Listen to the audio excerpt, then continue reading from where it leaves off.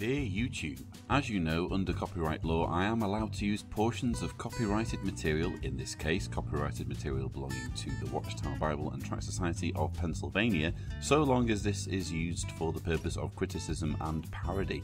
Please remember this when Watchtower comes complaining because I've embarrassed them by using their propaganda in a way they disapprove of. Thank you.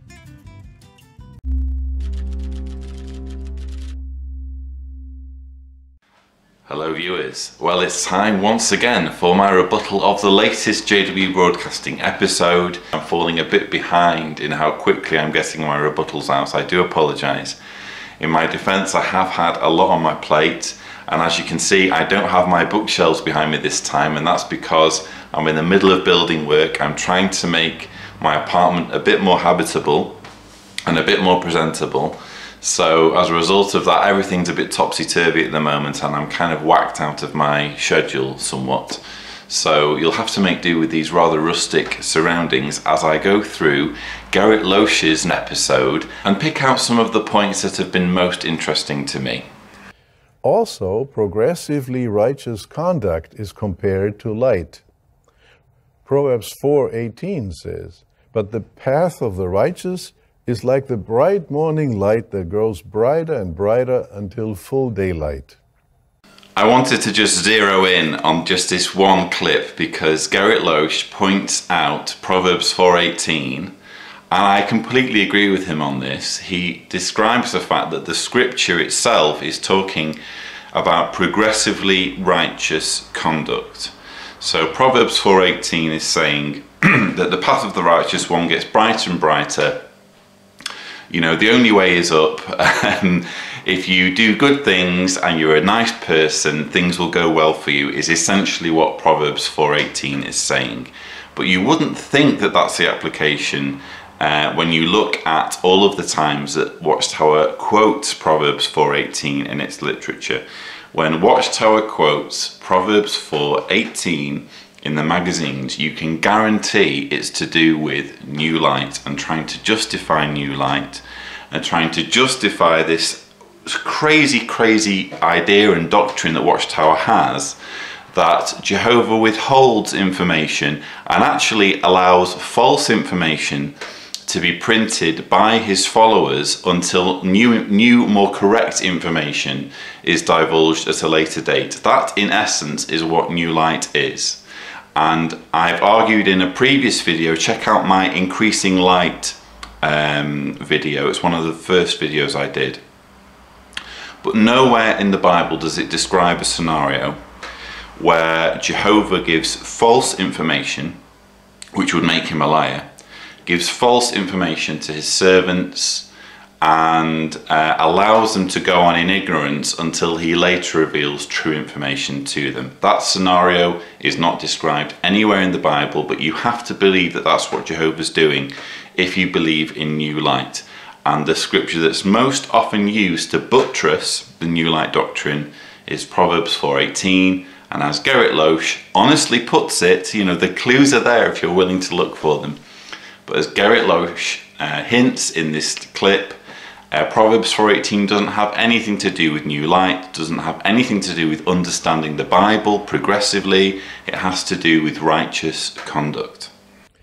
Another area of neighborly love is participation in the construction of kingdom halls, assembly halls, remote translation offices, and branch offices. The construction of these is a holy ministry or sacred service. So there you have it folks, construction of branch offices or kingdom halls or assembly halls is a holy ministry or sacred service.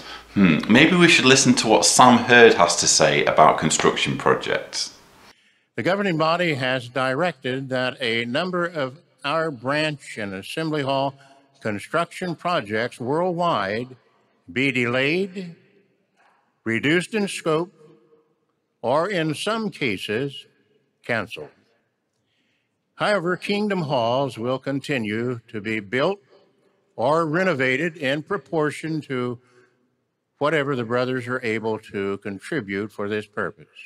Isn't that absolutely astonishing? So, in the November broadcast, we have Gerrit Loesch telling everybody that construction work is a form of sacred service. It's a special privilege. It's a holy form of serving Jehovah.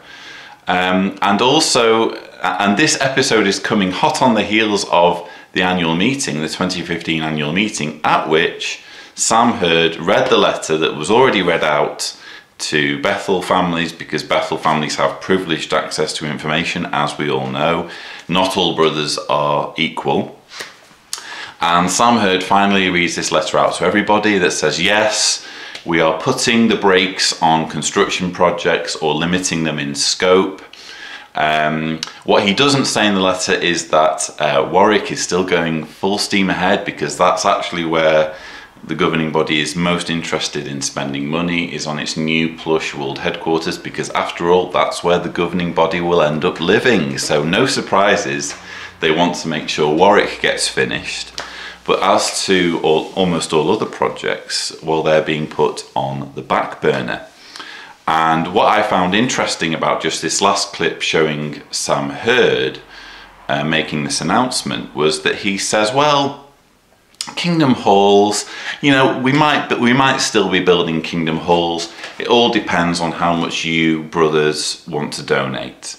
Well, that's very interesting because um, only, I think it was in 2014, we had the new stealth tithing arrangement. I, I called it, and a few others called it the stealth tithing arrangement because that's essentially what it was.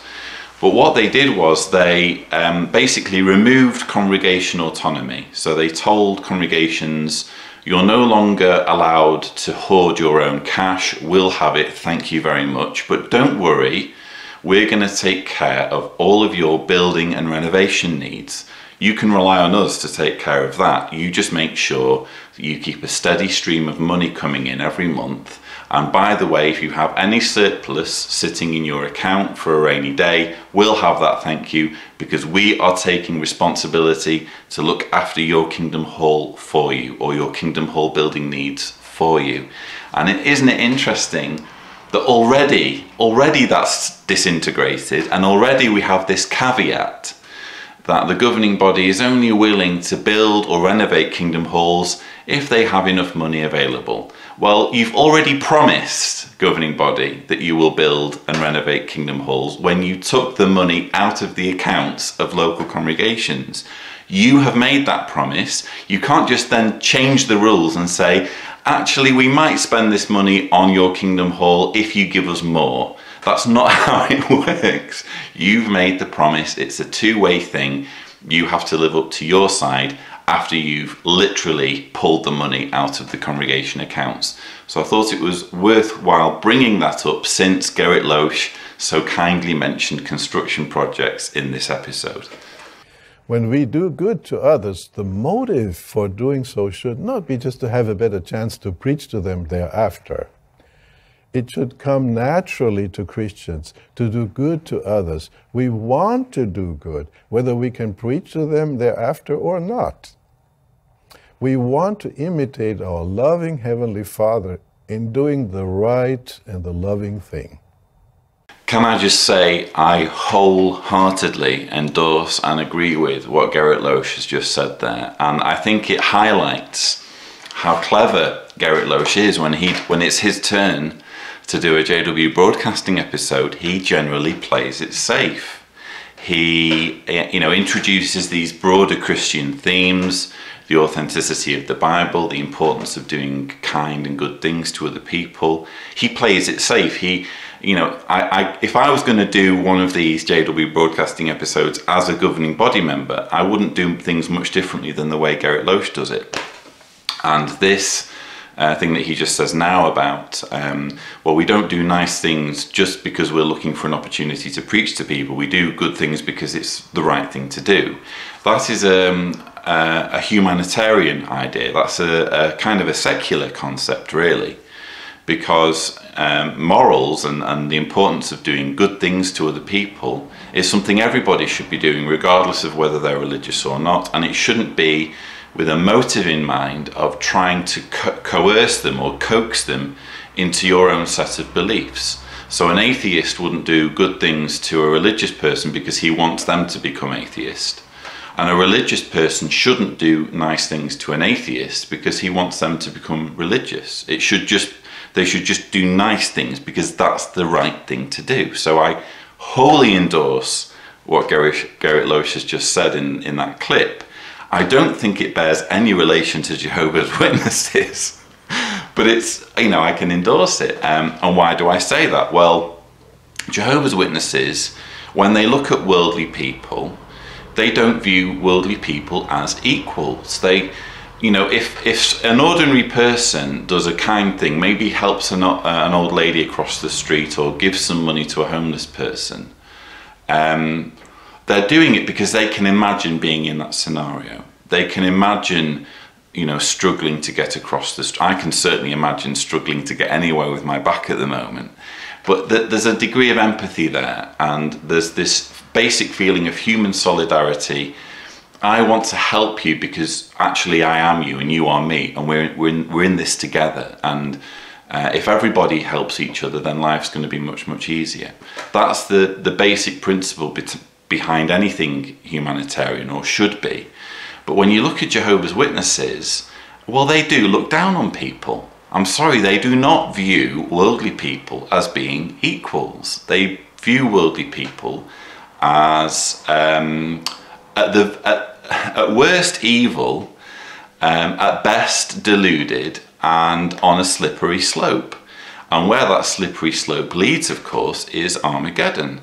So basically, anybody who a Jehovah's Witness encounters who doesn't want to become a Jehovah's Witness, in other words, doesn't want to embrace their religious ideas at some point or other, um, is worthy of death. Is worthy of being pecked apart by birds and or decimated by a fireball and or having their atoms ripped apart from each other through divine radiation. That is what awaits anybody who isn't a Jehovah's Witness or refuses to become a Jehovah's Witness. That is not an idea of parity. That is not an idea of equality. That is fundamentally looking down on your fellow man and pitying them and patronizing them and condescending them. So, um, as much as I agree with what Gerrit Loesch says about wanting to do good to others and not being overly concerned about preaching to them, I don't think that necessarily has anything whatsoever to do with the way Jehovah's Witnesses both look at and interact with worldly people. My name is David Slackman, and I serve as the chairman of the Hospital Liaison Committee in the Houston area. And the thing that I like about the Hospital Liaison Committee is that I'm not there for any personal glory, but rather I'm serving from the standpoint of helping the friends. Uh, I get a lot of phone calls, and sometimes the phone calls may come in the middle of the night. Sometimes the phone call may come during dinner time. But I'm serving Jehovah. I'm serving the friends. I don't care when it comes, I just want to help them. So when, they, when the call comes, the emergency is there, I have this prayerful attitude that, that I have Jehovah's Spirit to assure them that Jehovah cares for them. When we're visiting with the patient, the, the patient is very glad to see us. They, they, and, and that immediately translates from their viewpoint that Jehovah is with them. When we leave uh, the hospital and we know that the sister's been comforted by our call, it calls to mind uh, what the prophet said in Isaiah 40 and verse 11. It says, Like a shepherd, he will care for his flock. Jehovah does care. And when we see that's what Jehovah eh, does for the individual sheep, and I'm able to try to imitate that and also at the same time comfort the brother or sister, that's what gives me the greatest joy. Brother Slackman has been serving on the Hospital Liaison Committee for 22 years. And in that 22 years, I wonder how many Jehovah's Witness men and women Brother Slackman has persuaded to kill themselves by refusing medical treatment that's based on blood transfusions. I think it was within a video discussion I had with Mark Latham. If you look in the interviews, we had a conversation about this in uh, August 2014. we were talking about how how the HLC uh, elders visit hospitals and basically coerce witnesses to stick to their guns and refuse medical treatment based on blood. And yet, at the same time, Watchtower literature gives this impression that whether you refuse or accept certain forms of medical treatment is a personal decision. And they really stick to this, they really believe in this. Oh, it's a personal decision. Well, if it's a personal decision, why does Watchtower have to send in goons like David Slackman to basically pummel through this idea that blood is to be refused at all costs? If it's a personal decision, surely the whole concept of uh, HLC elders should be obsolete because individual witnesses have all the information they need to make their own decisions and will do so, thank you very much. But instead, Watchtower knows full well that the human will to live can override ridiculous, outdated, trumped up Bible dogma. And people can uh, disobey uh, these commands when push comes to shove. And that's why people like David Slackman are needed to essentially help people commit suicide. Now, you might be a Jehovah's Witness watching this, and you know, bravo for making it this far. Or you might be an ex-JW and you might be thinking, well, I understand there's lots of things wrong with Jehovah's Witnesses, but you can't really go there with blood because it does, after all, mention blood in the Bible, and we are supposed to abstain from it. So, really, even if they've got a lot, even if they've got a lot of other things wrong, they have got it right on blood transfusions. Well, I would really strongly recommend that you do some research on this and a great website to go to is JW Facts where Paul Grundy has done a full article on blood transfusions. I'll put a link in the description for your convenience.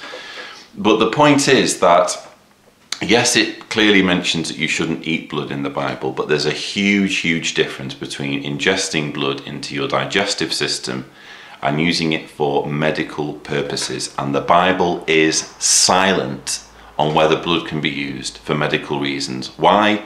Because blood wasn't used for medical reasons in ancient times. They didn't know anything about blood transfusion, so the Bible couldn't comment on it. So when the Bible is silent on something, you don't then introduce a law and say, well, the Bible must have really meant this. No, you let the Bible speak for itself. And furthermore, when you look at the words that Jesus spoke when he was on the earth, uh, he would often appeal to aspects of Pharisaical law that dealt with the sanctity of life. And Jesus would use, for example, analogies like, you know, if a you know if a man's bull falls into a pit on the Sabbath, you know, which man isn't going to also get it out and save it? And he would use, uh, and he healed obviously on the Sabbath as well. For Jesus, the sanctity of life came first and everything else was fairly trivial if life was hanging in the balance. The first thing you do, the first rule, is to save human life. And Watchtower's ridiculous and bizarre and sinister blood policy completely tramples all over uh, this principle that was alluded to by Jesus.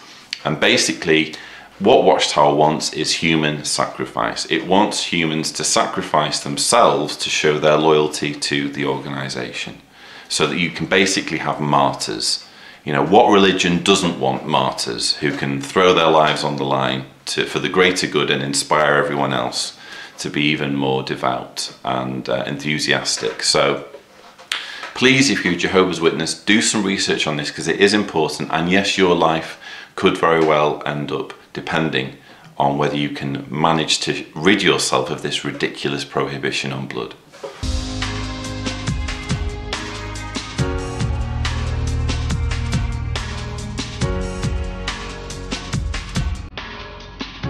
The harbor is a 24-7 economy. So you never know exactly when a ship arrives. You have to be flexible in your schedule. Adjust everything you can to meet the people there on board, especially when it is a return visit, you try to do everything you can to meet that person again. Maybe I'm the only one who was bothered by this, but in this last clip, you'll have noticed that uh, we have this section on harbour witnessing, and you have interviewed these individuals from Holland, these you know witness brothers and sisters who engage in ship to ship evangelical work and they're all giving their experiences. And what you have while they're talking these English subtitles, and they're speaking in English, and they're perfectly understandable. But someone somewhere at JW Broadcasting HQ has said, uh, "Well, we can't really, we can't really make out what these guys are saying. Let's put some subtitles under them." You know, we can understand what they're saying, and if you think about it, it's rather patronising and condescending that these brothers have to make do with having subtitles when they're speaking English. But Gerrit Loesch, who speaks with a heavy German Austrian accent, doesn't need any subtitles whatsoever. Encouragement. It comes in many forms, and it can affect our lives in ways we never imagined. The couple being interviewed were truly happy. They were enjoying so many blessings in Jehovah's service. Their secret? They simplified their life. After that assembly, we really thought about how we could do more to serve Jehovah.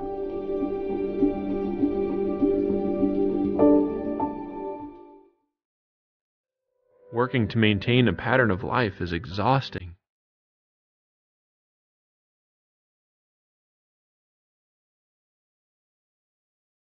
Even our vacations were tiring. We were both working to maintain our lifestyle. But our lifestyle was controlling us. We were spending money without even a thought.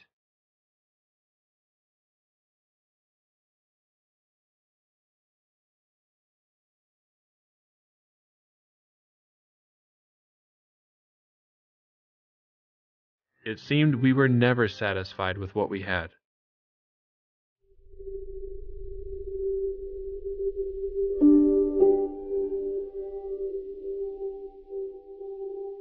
In one of Jesus' illustrations, a rich man built bigger storehouses so he could store all his things.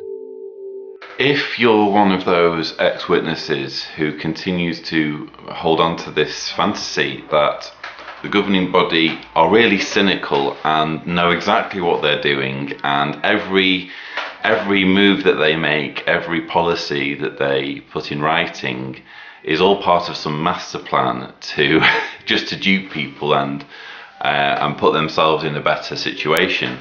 If you're one of these people who, who genuinely believes they're cynical, all you really need to do to debunk that theory is watch this clip because what the governing body wants is, even though it's running out of money, even though it desperately needs donations from its 8 million Jehovah's Witnesses, it's telling its 8 million Jehovah's Witnesses, we want you to be poor.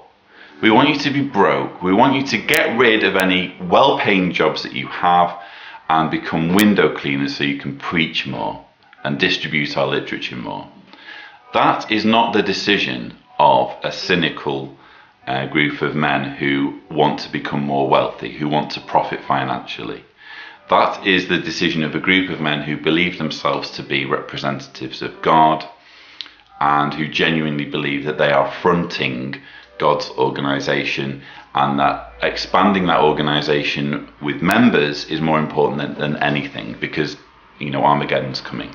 It all falls into place once you watch this clip. And what a selfish, evil thing it is to persuade young Jehovah's Witness couples that no, they shouldn't think about their future, they shouldn't think about making their lives comfortable.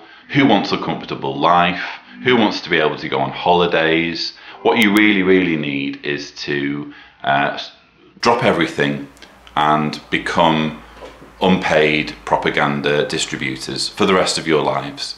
What an evil, evil thing that is, and it's a recurring theme now in JW Broadcasting episodes. Either the governing body is telling kids not to go to college, or in this case, it's telling, you know, well educated, capable, um, you know, young men and women who are married to drop everything and not make themselves in a position to maybe have children support children later on in life, uh, and make sure the next generation is, is well provided for. No, the organisation always comes first. Sacrifice, sacrifice, sacrifice. Any kind of energy, any kind of talents that you have, we want them. An utterly, utterly selfish stance to take, and it carries on into the next clip I've selected for you. We meditated on what matters most, and we were determined to simplify our life. We had stored up many things, and it wasn't easy letting go.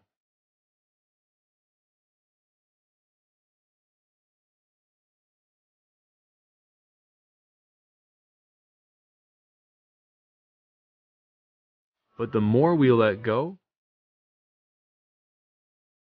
the more we felt free.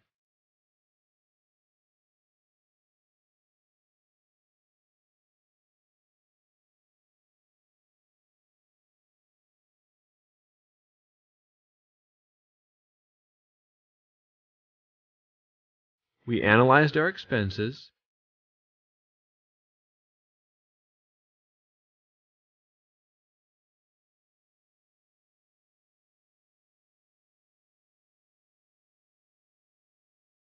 And we made adjustments.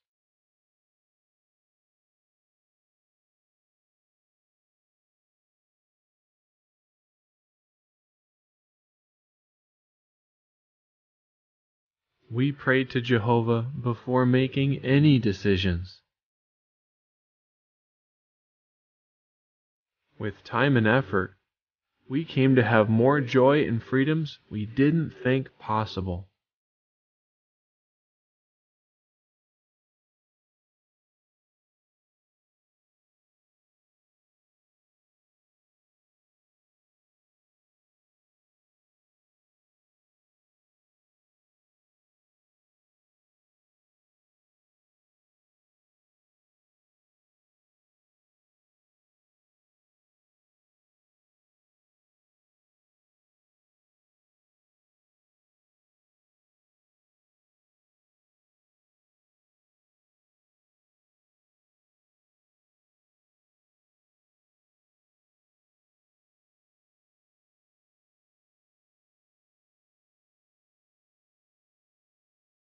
Simplifying your life can take time, and it is not easy.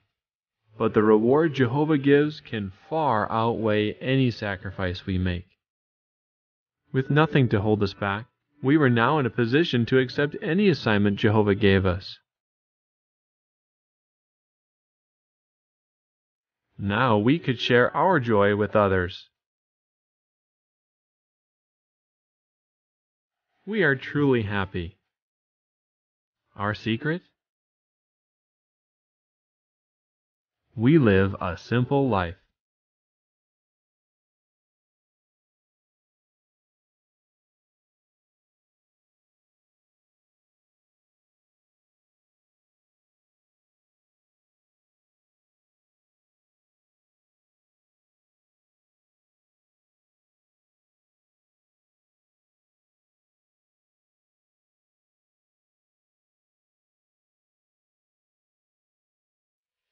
So the couple sells all of their belongings. Uh, they have a garage sale and they also put their house on the market, so they sell their house. They quit their well-paying jobs. Um, they get they start a new enterprise as window cleaners. And by the way, I've done window cleaning, and I can tell you it is not fun. Um, I tried it for about four months when I was about 20 uh, and I was actually recommended to do window cleaning by an elder in uh, in my congregation, and because that was you know that was considered to be the way to make money if you uh, wanted to pioneer. So I tried window cleaning for three or four months, and it was I, I probably shouldn't have started in the winter, but I did.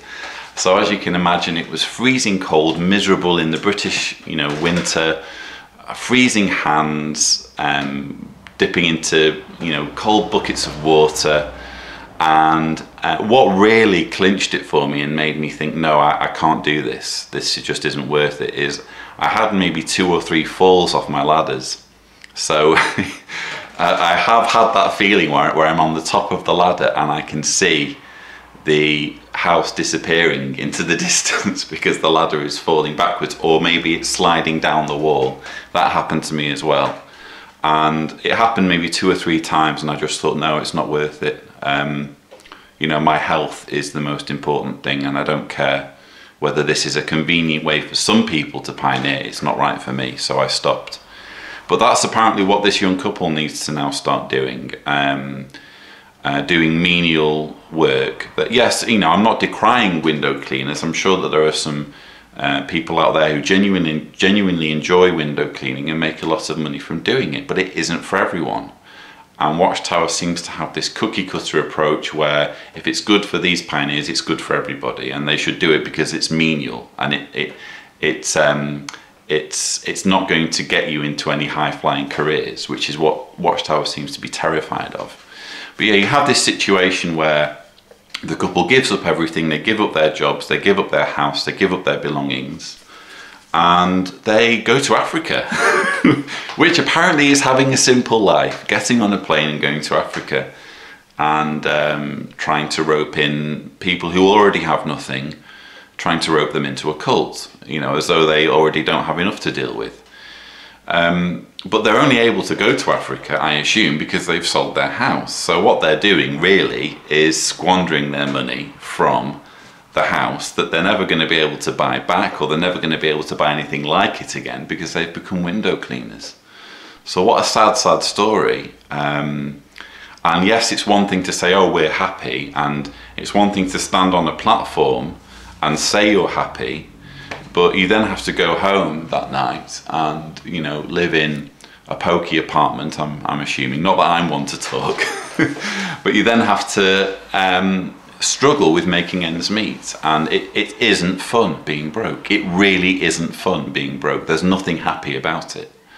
Um, you know, I'm not. I'm not desperate to become rich and wealthy. Some would say I already am. but um, the one thing I would like is to not worry about money. I wouldn't like anymore to worry about money. And I can, it was only a few months ago. I mean, our, our translation business is doing a little bit better these days, but it was only a few months ago that Deanna and I were, you know, walking around a supermarket with a calculator in our hands because we had to make sure we didn't go past a certain amount with our groceries. I don't want to be there again, thank you. It's not fun and it's as a direct that was as a direct result of the fact that we did exactly what this young couple did and we squandered um, our young energy on working part-time for far too long. I mean you can maybe manage it for a few months or maybe a couple of years um, but sooner or later the money's going to start running out. And not only is the money going to run out but you're going to start racking up debt which uh, is exactly what happens for couples in that situation or at least it happened to us and we're still paying off the debt that we uh, accumulated while we were pioneering. So uh, please, if you're a young witness couple watching this video, do not make that mistake. Uh, Watchtower is literally trying to bleed you of all of your energy, all of your promise and all of your prospects and all of your potential and basically just wants to get the best out of you and then cast you to cast you aside once you can't give any more don't do it. Uh, there's only one life, live it now, make the most out of it. Don't be ashamed to be happy, don't be ashamed to be successful, and just go for it. Do whatever you want to do in life and do whatever makes you happy. But I can assure you, being broke for a cult is nothing to be happy about. A nice experience. As kids, young boys playing soccer in the streets, bare feet, using bricks as goalposts, and playing right up until after sunset.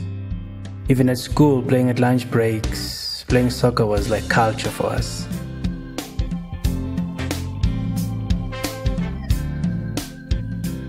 I couldn't see anything else better than soccer. I ended up representing the province and then played for the youth national teams, representing the country, and then got chosen to play professional soccer with one of the local clubs. And then eventually I went overseas to play in different tournaments in countries like Belgium, Netherlands, France, and Germany.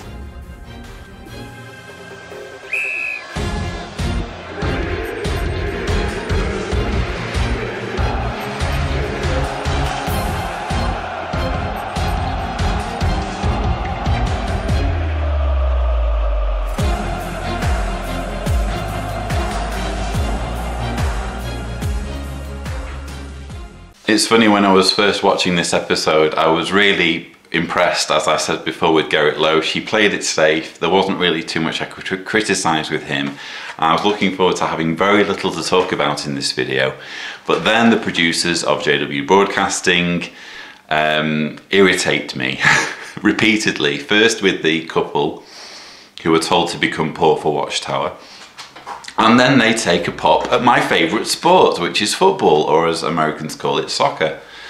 So I absolutely love uh, soccer, and that's why I've got a bad back actually, because the local guys who I play football with, um, I couldn't resist going for one last game before winter, and I sort of knew before I started playing that something was going to give with my back, and it did, and um, as a result of that, I've ruined my back basically, and I'm on painkillers at the moment, waiting for it to fix itself. But I absolutely love football, and I think one of the things I most love about it and have always loved about it is that even if you're miserable and down and depressed, which you quite often are as a witness, I'm sorry you are, when you're on the field and there's a ball at your feet and you're with your team, nothing else matters. You can completely lose yourself and immerse yourself in the game. And it irritates me that um, there has been this pattern of Watchtower taking a serious um, sideswipe at competitive sports. It's done it in the magazines fairly recently, and it's you know again targeting football in particular uh, in this video. It seems to have this idea, or the governing body seems to have this idea that it's okay when it's just some kids running around in the dirt, um, you know, in a poor country, or it's okay if it's maybe some Bethelites or Gilead missionaries running around in a park somewhere, you know. Um, but the minute it gets competitive, no, you're not allowed to do it. Well, the competitive element is what makes it so enjoyable. You really, really enjoy it because it's competitive. And because everyone cares whether they win or lose, if nobody cares whether they win or lose, it's no longer fun. Imagine playing chess with someone who isn't bothered about whether they win or not. It wouldn't be enjoyable, would it? And it's the same thing with football. And so you have this transition from it going to, you know, these sweet kids running around in the dirt with with lumps of rock for goalposts, and then the competitive music is is kind of introduced, and then you have real footballers and a tackle and a red card. You know, honestly, the way Watchtower somehow manages to demonize and stigmatize the most innocent things and make them seem as though they're from the devil. Um, it really enrages me, especially when it's, as I say, a sport that's, that's close to my heart. And I do feel sorry for any young witnesses whose parents are watching this and who will now have further ammunition to make their children's lives miserable by denying them the, uh, the, the scourge of playing football. I didn't know the Bible, although I had been going to church all my life and seeing the love at the Kingdom Hall there just made me realize that there was something in this and I had to look closely to see what it was.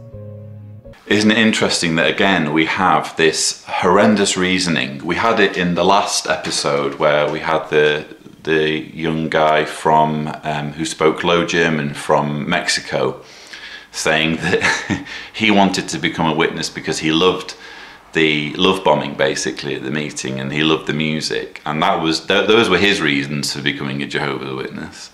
And now again we have this guy who you know, gives up a promising career as a footballer um, because he loves being love bombed at a meeting and because of the affection and love he was shown at a cult meeting.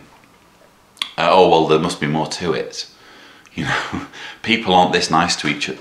People aren't this nice to each other for no reason.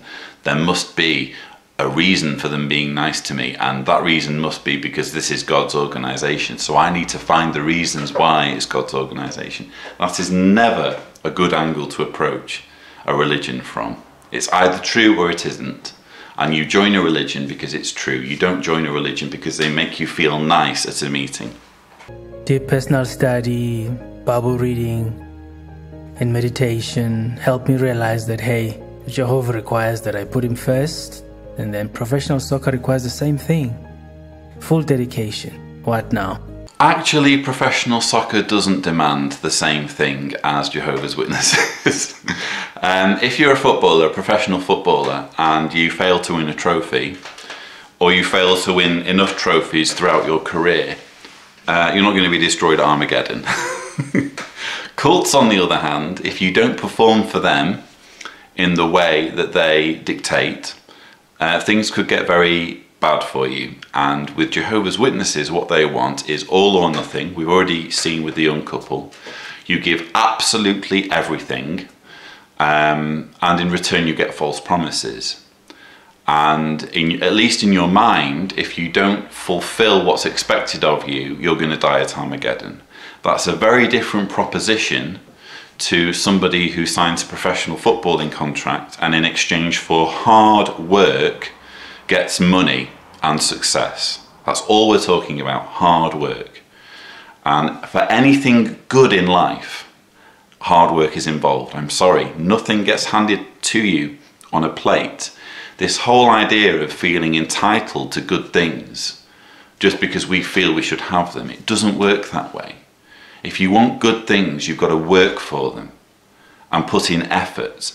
And the same is true with being a professional sports person or being in a decent career or being um, a scholar or a professor or a teacher or a doctor. Anything requires, anything good um, requires hard work you know, in, in any area of life you wish to be, whether you're just a parent, if you want to be a good parent, guess what? Hard work, dedication. It's the only way to do it.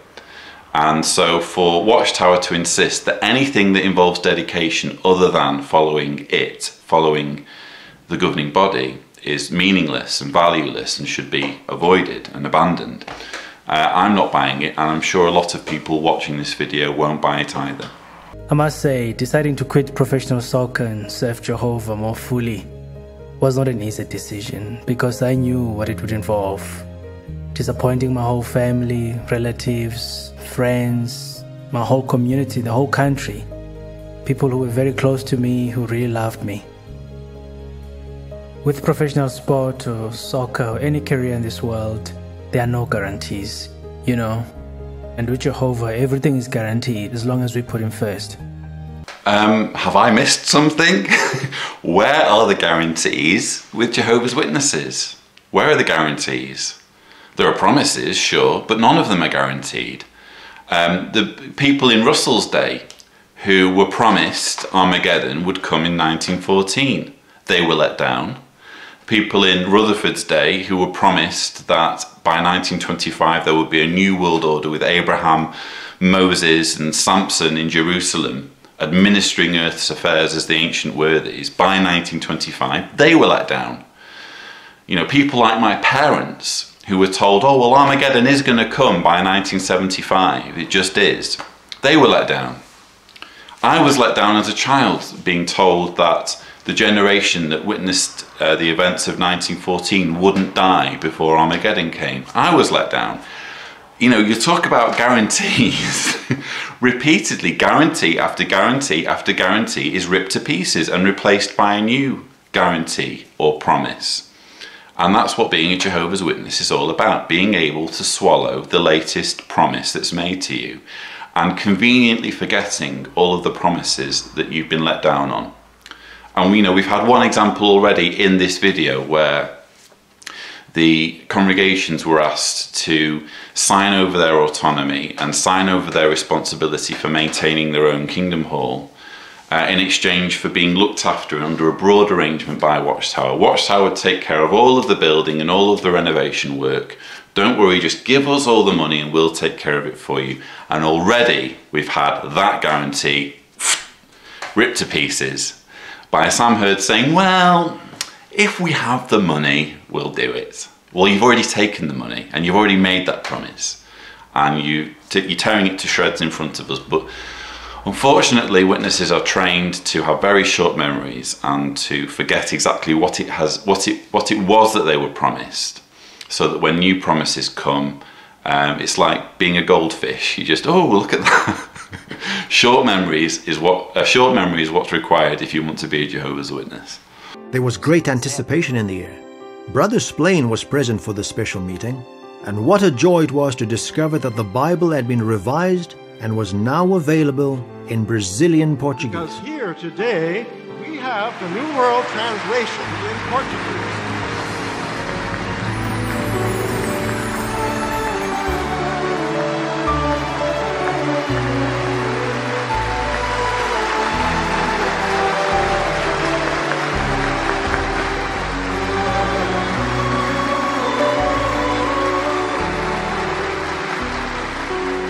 Everyone present received their own personal copy of the New Revised Bible.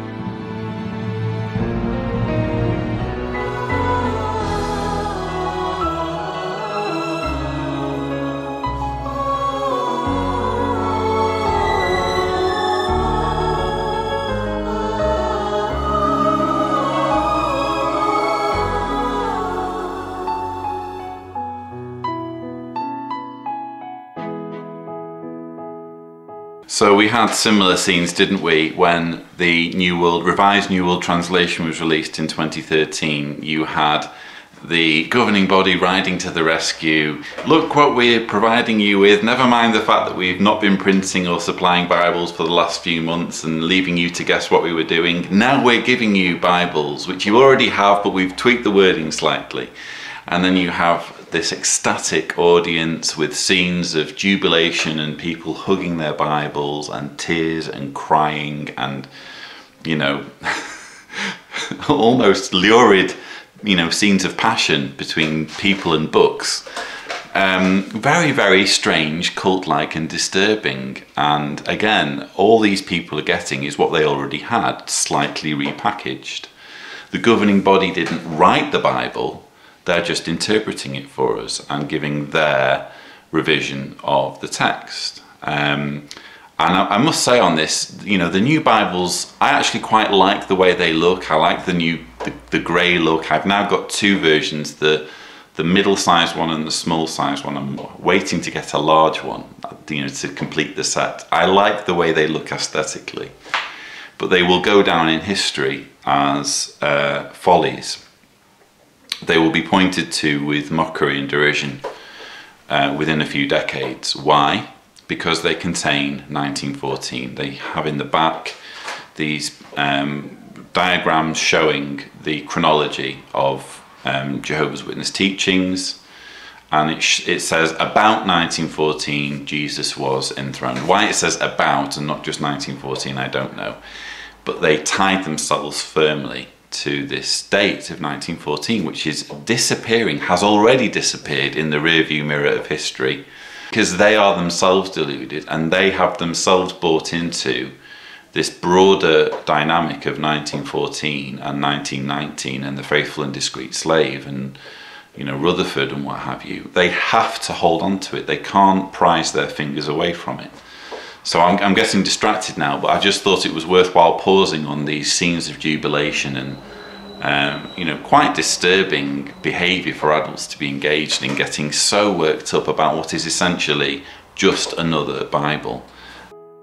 While the Bible was being distributed, those in attendance heard a chorus sing the new songs in Portuguese.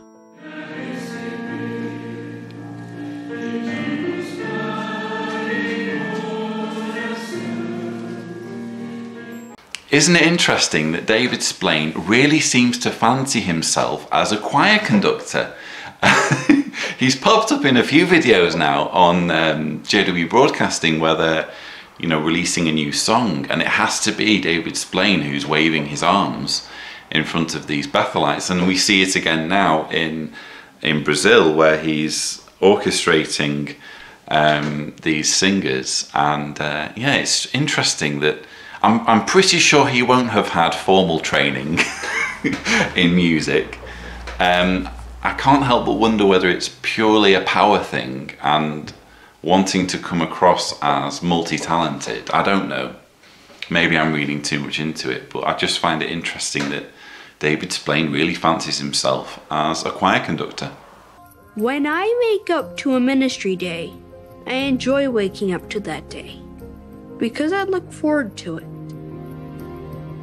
I have fun doing the ministry with the friends. I love showing the Caleb videos to the little kids at the door. But it hasn't always been so easy. I have autism. Loud noises were really, really hard for me. Like when the audience laughed or clapped. Or even crowds. Like a lot of people, you just can't be around them. Because you just feel like this is too much. Family worship was difficult when I was eight or nine. I just didn't really want to do it. It was getting on my nerves. It was just not really easy. Some days it felt impossible to go to school. There was a day when I went outside and I just like, I cannot go back in there. One time, a kid came out of nowhere and just pushed me over. Made me feel physical pain and emotional pain. When other kids were playing without me, it just made me feel a little upset that they're leaving me out. It just makes me feel a bit lonely. At first, my parents did not know how to communicate with me. I had mental and social challenges. The brothers and sisters could not understand what I was doing. My parents found out I had autism. Then, as the years passed, it got easier and easier for them to communicate with me. The friends in the congregation have helped me by doing whatever they need to do to help me stay on the road to life. Some of the ways that my parents have helped me to learn about Jehovah are household activities, like making food, going out in nature, and family worship. My parents took a new route by situating spiritual things all day long instead of one thing once or twice a week. And now, family worship cannot be better.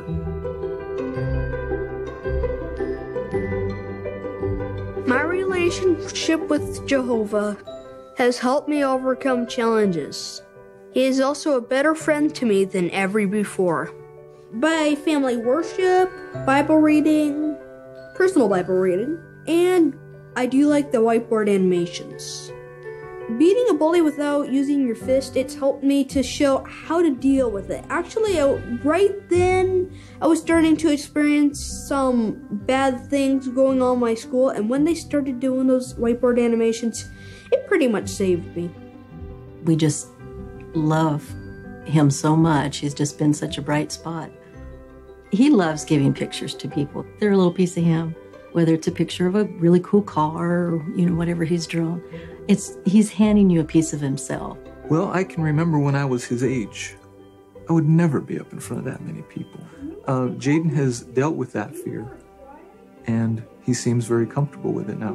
He's not afraid to speak in front of the congregation, and the congregation's very supportive.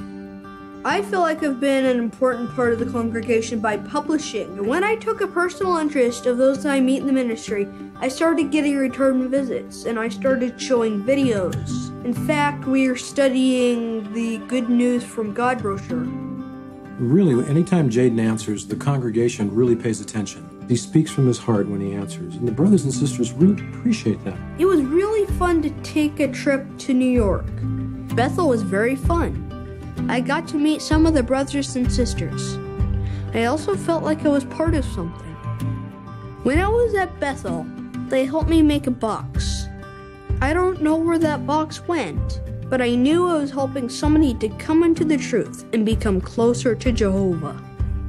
We've really seen how Jehovah has greatly blessed Jaden. Because he has his own ministry, he's able to practice his social skills, both at the door and with the brothers and sisters that are out in service. And we really feel that Jehovah has created the perfect environment for Jaden to thrive spiritually.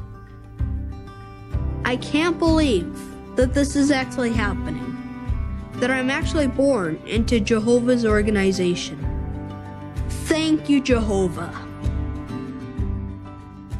Well, isn't that just a double whammy of bad luck? Jaden is born into a cult uh, and he's born with autism. And neither of those things are fun to have to deal with. But I think what irritates me about this video is the fact that um, his problems are celebrated. It's celebrated the fact that he has this condition is, is already challenging enough without having to shoehorn it in around all of these other requirements that are associated with growing up as a witness. And I found a lot about Jaden's story was fairly generic about the experience of growing up as a witness anyway, whether you have autism or not. It's challenging to go to school. It's challenging to be the odd one out. It's challenging to be the weird kid who feels he has to preach to his classmates. It's challenging to have to, you know, sit with your family once a week and talk about stuff that you're not that interested in as a child because, you know, let's face it, children aren't born religious. They have to have it pummeled into them.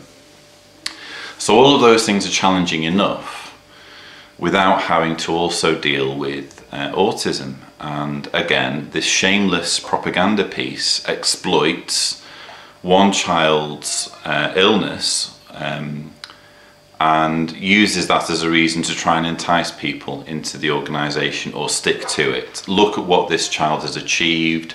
Look at how this child has been obedient to what's required of him. If he can do it, you can do it too. And that's the message. And, uh, and, and as well, a reminder to parents that if they have kids, this is what they should be doing as well. They should be pummeling, indoctrinating, getting Watchtower's requirements into the brains of young people as young as possible.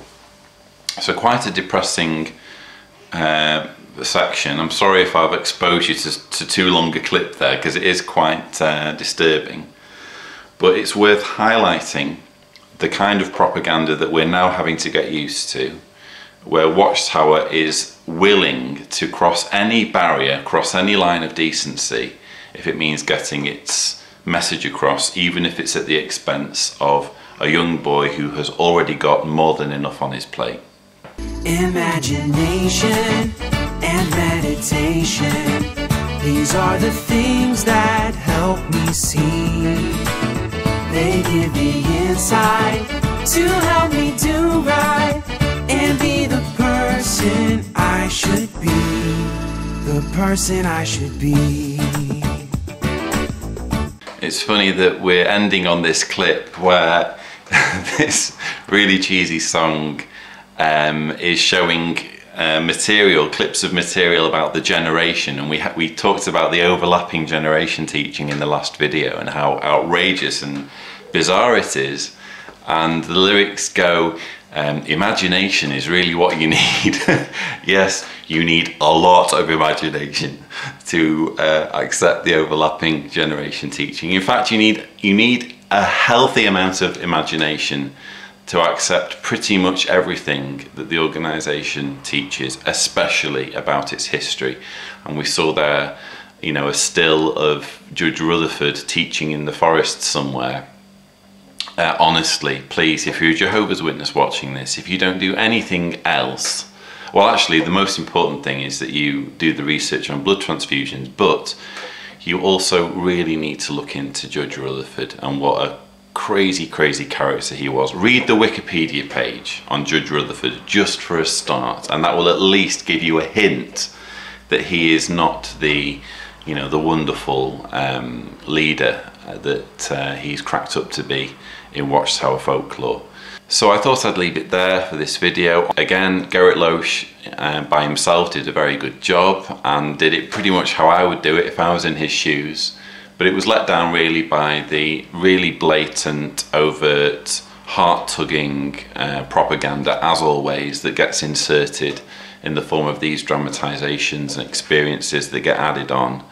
And uh, it's really the whole reason why I do these videos is because I feel there needs to be some kind of answer to it all. Um, I think a lot of it can you can figure it out yourself just by watching it and thinking about it.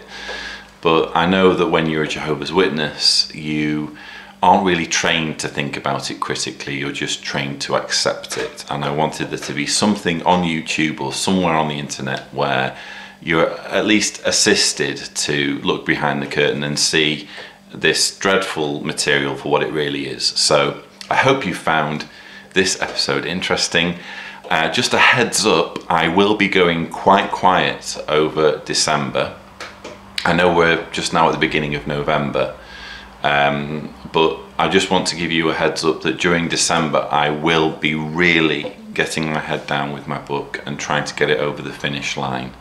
And in November, I'm also going to be busy trying to get my apartment finished.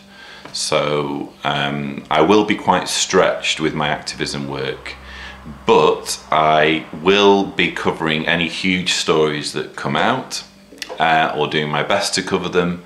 And I've also promised to do a video on da, da, da, on 607 BCE, uh, which is a subject that I can't honestly say was that important to me, but the more I've kind of interacted with the other XJWs, the more I've realised that this is actually a subject that is of concern to a lot of XJWs and a lot of JWs who are just starting to do their research.